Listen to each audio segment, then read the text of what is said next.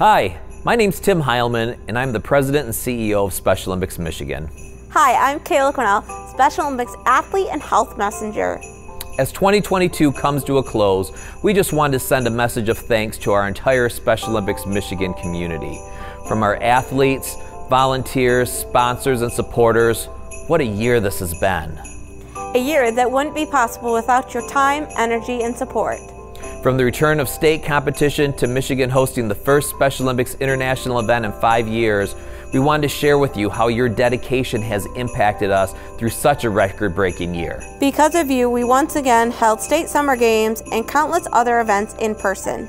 Because of you, we sent a delegation of more than 70 individuals to USA Games in Orlando, where our athletes shined on the national stage and brought home dozens of medals.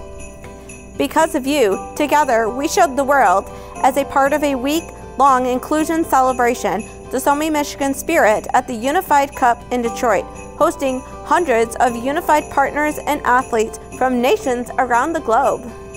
We achieved all of these tasks while also running our community programs at the local level and really celebrating what matters most the love, joy, and competition of our athletes. On top of that, this building, the Unified Sports and Inclusion Center, has opened its door to more than 10 other nonprofits, opening doors to so many that need a place to call home. So, thank you for your tireless efforts in helping us create a more unified world. We are so lucky to have all of you. Happy, holidays from the SOMI family.